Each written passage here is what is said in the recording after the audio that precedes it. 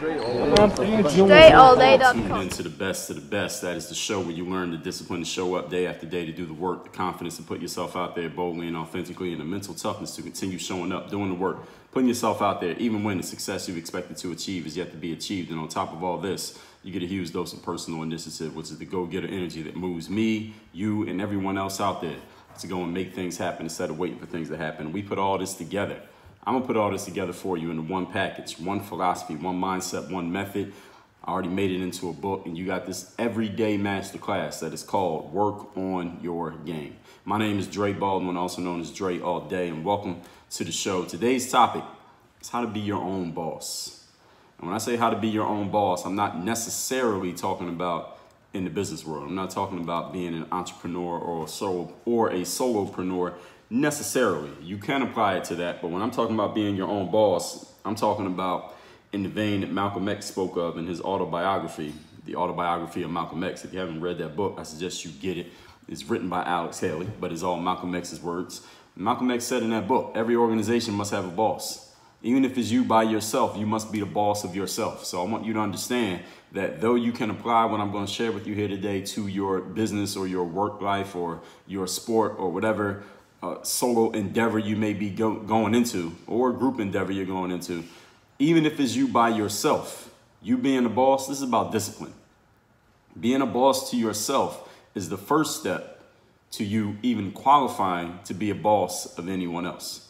So while you can use these principles again to apply to anything specific that you're involved in, understand everything we talk about here today, these go beyond your nine to five or your eight to six or however many hours, you know, 25, eight, whatever hours you spend working, okay? It goes beyond the work time. This applies to everything that you do in life, you being a boss of yourself. Because if you can't be your own boss, then first of all, you're definitely going to come up short in achieving anything that you set out to achieve. You might not even have any goals if you haven't even thought of being your own boss. If you're not able to hold yourself to the standards that a boss would hold you to and respect those standards the same way you would respect the standards of anyone who has a authority position uh, relative to you in whatever for whatever reason and in whatever sense if you can't do that for you and i'm going to explain to you here today how to do that for you if you can't do that then you're going to come up way short of fulfilling your potential. You're going to come up way short of doing the things that you really want to do with your life. And when you're faced with a challenge, uh, you're not going to meet, you're not going to be able to meet that challenge, let alone uh, handle and face down that challenge. These are all the drawbacks of not being able to be a boss to yourself. So today, as we get into these points here, let me explain to you how to be a boss to yourself so that none of those Um, negative outcomes occur in your life. All right. And when you can become a boss of yourself, what it's going to mean for you is that you can do the things that you want to do. You can fulfill your potential. You can reach the levels that you really want to reach. You can probably find out that the sum of all of your efforts will actually be greater, the whole of all of your efforts, rather, will be greater than the sum of your parts. In other words, if you have three units of skill, you can produce four, or five, or 20 units of production not because all of a sudden you came up with more units of skill, but because you're able to take everything that you have and put it all together. And that synergy creates a, a, a, whole that is greater than the sum of its parts. But let me get into my points before I step on anything I want to share here with you. Again, the topic today is how to be your own boss. Number one thing you must do, you must establish your standards. You're going to be your own boss, you need standards. I knew a guy who ran a brand advertising company for real estate people. So anytime someone was doing any kind of real estate business, commercial real estate, they would call a company like his, this guy that I know, and he would hire them to put together an advertising campaign that they would use to try to find their investors and buyers and get the money they, they were going to make. So they saw doing this brand advertisement as an investment into the business because they were going to make even more money on the back end than they were spending on the, the advertising in the first place. And this guy who runs the real estate advertising business, he told me how one time he had a client who had paid him for some work, and he, as the business owner, he handed this work off to one of his employees, somebody on his team. Hey, get this advertising campaign, put this thing together for this client. This is what they want. This is the way it needs to be. I mean, you know what the job is. Go do it. And at the same time that he was handing this work off to someone on his team, he also understood that because his name was on the door. He was the owner of the company. He's the one who was closing the deals. he knew that he needed to check on everything that went out of the door of his company before it got sent to a client because the last thing he wanted was wanted somebody on his team to mess up and then it fall back on him and them losing money and all of that because he didn't check on something that was coming out of his doors. So when his team member finished the advertising campaign that was going to be put together, and it was like a creative campaign, like visual thing, this guy who owned the company, he took a look at it and he was telling me, this is the story he was relaying to me, that he concluded that the work that his team member had done was shitty work. The work just was not good. He had to tear the whole thing apart that his team member had created, and he had to do the whole thing over before sending it out to his client on deadline. Now, why is this? And why am I even sharing this with you? The whole reason, the whole thing that this guy was communicating to me, he didn't say it in so many words, but this is what I got out of it. And this is what I want you to get out of it. And the reason I'm sharing you with this story is that he was communicating to his company and he personally, as the boss, he had standards. There were certain levels of performance that needed to be met for anything that was going to come through that organization. And when something for example, this work that he had his team member do did not meet those standards, things are going to have to be done over. Things are going to have to be fixed. Someone's going to have to be reprimanded for that. Anyone who's listening to this who has ever had a job in your life, when you started at that job, how they introduce you? How they introduce you to the job is what I mean. They showed you the ropes and they told you the rules, right? Here's how we do things. This is when you need to show up. Here's where you go when you show up. Here's how you let us know that you have shown up. Here's the work that you're going to be doing. They show you how to do that work, maybe not in one sentence, but they train you on how to do that work, right? Then they tell you how they're going to measure your work. They'll tell you how you're going to know when your job is complete. When do you know that you've actually done what you're supposed to do at a satisfactory level? Here's how you're going to know that. Here's what's acceptable. Here's what's not acceptable. If you ever have a question, go read this or go watch this or go ask this person over here. Every business does this. Anyone listening to this who's had more than one job, can you agree that any job that you've had, you went through some form of this? Maybe they didn't say it in those exact words, but you went through some form of this where they showed you here's how things work. Here's what the rules are. Here's all the things you're going to be doing. Here's all the things you need to know. Here are all the people that you need to know. If you ever have a question or a challenge or a problem, here are the people that you can contact. Maybe they gave it to you in a packet that maybe you read it and maybe you didn't, but all this information was in there because any company that's going to last over an extended period of time, they have to put all this, they have to document all this stuff because if they don't, they can get sued and end up being out of business completely. Every business does this. And you know what? You are a business. Even if you don't own a company, even if you have never generated a single dollar of revenue in your life, you personally are a business. As I've said many times, it costs money for you to be born, it will cost money for you to be buried, and it costs money the entire time in between. All right, you slept in a bed last night. All right, that bed wasn't free.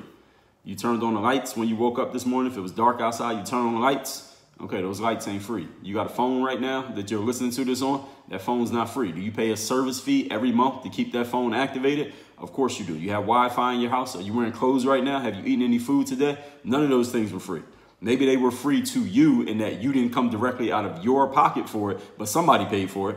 Even if you didn't, somebody's paying for it. And in some way, shape, or form, you are paying them back for what you're using that is quote unquote free to you. So, in other words, you're a business. All right, that's the point that I'm making here. Business is the exchange of resources between people. You are using resources and you're giving up resources. That's called business. So, what are your standards? Since you're a business, what are the standards for your business? Oh, you haven't thought of that. You don't. You don't have any standards for your business, and you should get some. Because no thriving business is without standards, and any business that doesn't have standards is probably not doing too much. Right, it's probably not creating too much success because nobody knows what the standard is. No one knows what's supposed to be going on there. And when I say no one, if you're a business of just one person, I'm, I'm referring to you. What are your standards? What's acceptable? What's not acceptable? If you don't stand for something, as they say, you will fall for anything. So figure out where you stand as a business, you individually as a person, and then you can extrapolate that out to everything else that you get involved in. But just you as an individual, outside of your job, outside of your sport, outside of anything that you do every day, you need to know personally where you stand. And if you don't stand anywhere, then you're to be sitting or laying somewhere. Point number two today's topic is how to be your own boss. Number two, take no shorts. Jay Z has a line in one of his songs where he says, If you owe me $10, you ain't giving me nine.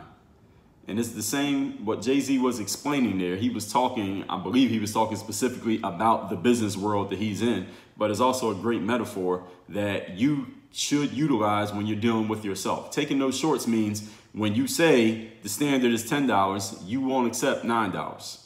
If you're working out by yourself at home and nobody's watching, no cameras, no nothing, and you tell yourself that you're going to do 10 push ups, you can't stop at push up number eight and then rationalize it away and say, well, I'm not going to do push ups number nine and 10 because uh, nobody else knows about it. Nobody's going to see it. Listen, you know about it, you saw it.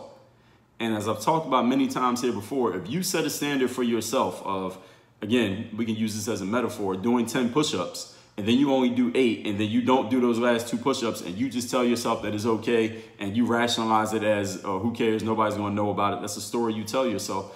Here's the problem with that you are training yourself to understand that when you set a standard, the standard doesn't actually matter. You could tell yourself that it's 10, but then you do eight and it doesn't matter. So that means the next time you tell yourself you're to do something, you're also your subconscious mind is to remind you of the fact that you didn't listen to yourself last time.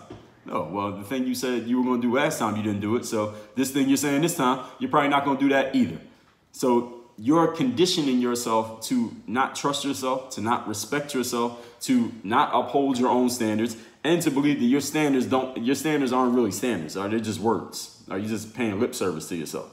When you know that you're not living up to what you said you're going to do, that's worse than anybody else knowing. And this is how a lot of people get it backwards in life. They think that all right, if a bunch of people are watching me and a bunch of people see me and I mess up, then that's worse than if only I see me mess up. No, it's worse if you see you mess up and nobody else knows about it because that's the standards that you're holding yourself to. All right, and you got to live with you. Uh, regardless of what anybody else says about you or knows about you or thinks they know about you or has some opinion about you, you always are going to have to be with you. All right, you got to go to sleep with you. You got to wake up with you every single day. That's the most important. The most important standard that you have to live up to again is the one that you set for yourself, not the one that anybody else has for you or thinks that you have for yourself or what they decide to say about you or what you think they think about you. The most important one is how you see yourself. And that should be reason enough for you to uphold your own standards. The same way that if you had a personal trainer and the trainer said do 10 push-ups, you wouldn't get the push-up number eight and then just tell the trainer, look, I don't want to do the last two. I ain't doing them. All right, you got to show you, you would do those last two push-ups because you respect that trainer enough and you paid them to push you. So if you don't feel like going to the last two, the very reason you hired your trainer is so that you could get pushed to do the last two that you wouldn't do on your own. So if you need to get some help with upholding your standards, go get some help. But make sure whatever standards you set for yourself, you are finding some way, shape, some way of upholding those standards. Uh, whether you got to get some help from somebody else, whether you can push yourself on your own, whatever you got to do. All right, by hook or crook, you when you once you set the standard, the standard must be upheld. And if you're not upholding that standard, then you might as well not even have the standard. Actually, you don't have the standard in the first place. And you respect your trainer enough, or your boss, or anyone who has authority in relation to you enough that you're not going to just quit on what they're telling you to do. They would demand it of you. You got to demand your standards of yourself. Whatever your standard is, you got to set you got to make those demands of yourself and you must uphold those demands meaning if you tell yourself i'm waking up at 6 a.m so i can go to the gym and get this workout in uh, you can't hit that snooze button at 6 a.m you got to get up out the bed at 6 a.m because you respect yourself like if you had a boss who said wake up at 6 a.m., you will wake up at 6 a.m. So how can you respect them more than you respect yourself? I mean, that, that doesn't even make sense to me. What I, I call that hustling backwards. And as the saying goes, when you're hard on yourself, life is easy on you. And when you're easy on yourself, life is hard on you. Well, which way do you want it? Point number three. Today's topic is how to be your own boss. Number three, bosses must command respect and they always represent what they want everyone else to follow you think about the most effective bosses or leaders that you have worked with or worked for in your life, or think about the times when you have been most effective as a boss or a leader.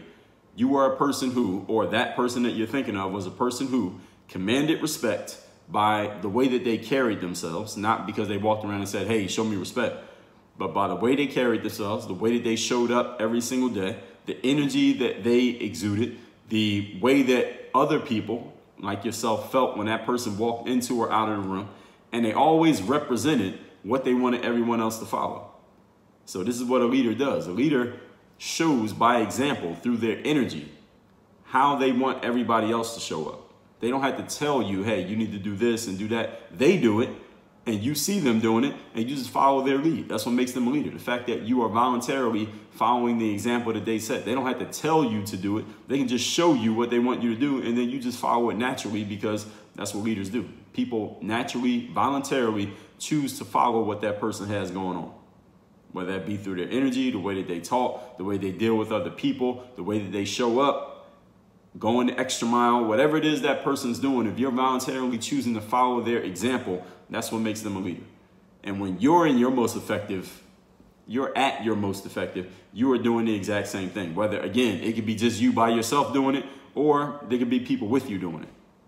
But you, as the boss, you command respect, always represent what you want everyone else to follow. And if you're not living up to your own stated standards as the boss of your own life, the boss of your own organization, you are, by default, by example, telling everyone else that the standards don't really matter and actually they don't even exist. There are no standards because nobody's upholding. The person in charge is not upholding the standard. The person in charge is not living up to their stated standards. Well, how do you think anybody else would ever want to follow a standard that you yourself are not living up to and you're the one who created it?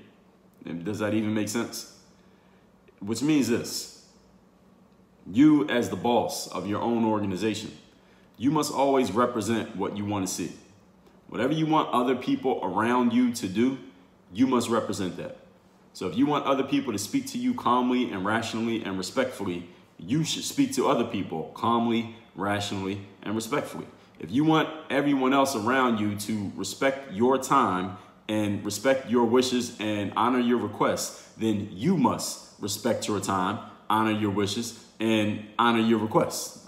If whatever you want other people to do unto you, you must do unto them. All right, some people know that as the golden rule, but you notice that I even stated in different ways, and whether we're applying it to life, whether we're applying it to your relationships, whether we're applying it at work, whether you're just applying it to yourself personally, it's a universal idea, no matter which way you decide to language it. Whatever you want from others, you must be yourself. If you have people who are following you, you have people who are working for you, you have people who you know are looking at your example and a little bit of your example is going to rub off on them, or maybe a lot of your example is going to rub, rub off on them, whether that be you have people in your audience on the internet, whether you have kids who are probably going to mimic damn near everything that you're doing, even when you think they're not paying attention, or you have anyone else in whatever position. You have people who are working for you at your company, or people who are uh, what's the word I'm looking? Subordinate to you. You're a supervisor at the company. Maybe you don't own the company, but you're a supervisor and there's some people who have to listen to you and they're following your lead. Understand, these people are going to do whatever you're doing. Again, even when you think they're not noticing what you're doing, they're going to be doing what you're doing. You might think they didn't see that, but they know. So if you have people following you, ask yourself the question, what do you want them to do? How do you want them to represent themselves and and by extension represent you because everybody knows that they came from you. So if you have children and you set a certain example, your children are going to go out there and they're going to mimic that example. All right, what do you want them to be out there doing? Are you doing it? Not are you saying it, not are you telling them it, but are you doing it? Because as the saying goes, as what I've heard, your children don't do what you say, they do what you do. So whatever you're out there representing, that's pretty much what they're going to go out there and represent. Again, even if it's the exact opposite of what you said, all right, they're not going to follow what you said. They're going to follow what you did. So if you have no one with you right now, let's say you don't have anyone to follow your example. You don't have anyone who is looking at you and watching you and doing what you're doing. All right, no kids. You don't have any employees. You don't have anyone around you right now. It's just you right now. All right, you are literally a, a one-person organization. Imagine that you did have some people following you. How would you want them to show up? How would you want them to work? How would you want them to respect your ideas and your standards? That's the person, and when you answer that question, you should answer the question. That's who you need to be right now. Once you get all that, everything that answers that question, how would you want someone to show up and do their job and respect the standards if there was somebody who was whose very job was just listen to and follow everything that you did you need to become that person right now. If there was a camera just following you around all day and everything that you do, you get a clone. You get somebody to clone you and they're going to do everything that you do. You need to show on that camera the type of person you want that person to be. I've hear, I hear uh, entrepreneurs say this often. They say, you know, I have so many ideas and so many things that I want to do, but it's only so much time in a day. I only have two hands. I can only be in one place at a time. I wish I could clone myself. You ever hear any entrepreneurs who are listening to this or any busy people? or who are really passionate about what you do, you've probably used this phrase before. I have thought this before myself. Like, man, if I had another one of me working right next to me, I could get a whole lot more done every single day. Well, here's the thing. Imagine that you did have that other person, that clone of you, working right next to you every single day. But here's the, the rub is that they don't know what you know. They don't know your job. They don't know what to do. They got to be trained from zero. All right. They'll do whatever you train them to do, but you must train them. Now, here's how you're going to train them. You can't talk to them. You're not allowed to tell them what to do. You're not allowed to tell them, hey, do this, and then do this, and then do this. You're not allowed to explain anything. The only way you can train them is through your actions. Okay, so they is basically imagine that they're they're deaf. They can't hear and they can't read, at least not they can't hear anything that you said, And they can't read anything that you write. They can hear and they can read, but just not from you. They can only learn from you through your actions. So your actions is exactly how you train them. So if they were to watch a video of your last 24 hours, uh, is that the type of employee you want working for you? This is something for you to think about as we recap today's topic, which is how to be your own boss. Malcolm X said in his autobiography, every organization must have a boss, even if it's you by yourself. You must be the boss of yourself. So what we're talking about here today is about discipline. Being a boss to yourself is the first step of qualifying you to be a boss to anyone else. So you can use these principles at work, but these are, are, what I'm talking about here today are principles you need to apply in your life. When you apply them in your life, they're going to leak into your work by default. Point number one, establish your standards. When you started a job, if you've ever had a job before, when you start, what do they do at first? They train you. They should. They give you an, an, initiation period by showing you how things go. Right? Here's how we do things. This is where you show up. This is what you do. This is what your job is. This is how we measure your work. This is how you know the job is done. This is what's acceptable. This is what's not acceptable. If you have a question, you go ask this person over here or read this document over here. And every business does this. Every successful business does it. And guess what? You're a business. And if you're 25 or 43 or 56, you have been successful. You've been in business for 25 or 43 or 56 years. All right, your business has been around for a while. Most businesses don't make it that long. Therefore, you better have some standards. What is acceptable and what's not? If you don't stand for something, you fall for anything. Point number two, take no shorts. Jay-Z said, if you owe me $10, you ain't giving me nine. It's the same thing dealing with yourself. If you say you're going to do 10 push-ups, you can't stop at eight and then say it's okay because nobody saw it. All right, you saw it. All right, you're the most valuable audience there is to you. Uh, it's not about what your, your YouTube subscribers saw or the people who follow you on Facebook saw. It's about what you saw because you don't have to live with those people on the internet. All right, you got to live with you forever. All right, those people will come and go. You will always be here. So you got to start demanding the same thing of yourself that your boss or your trainer or your parent when you were a kid would demand of you. When you're hard on you, life is easy on you. When you're easy on you, life is hard on you. Point number three, command respect and always represent what you want everyone else to follow. If you are not living up to your own standards, you're letting everyone else know that there are, in effect, no standards, which means you got to always represent what you want to see. So if people are following you, what do you want them to do? If you have no one with you, imagine that you did. Imagine that you had someone, a clone of you, and the only way they can learn what to do is by watching your actions. They can't hear you and they can't read anything you write. You just have to act out what you want them to do. How would that person be working if they followed you around for a day? That's the person that you need to become right now. The example setter of whatever you would want a clone of you to be doing, you need to be setting that example with your actions every single day. How about you start right now? Work on your game. Dre all day.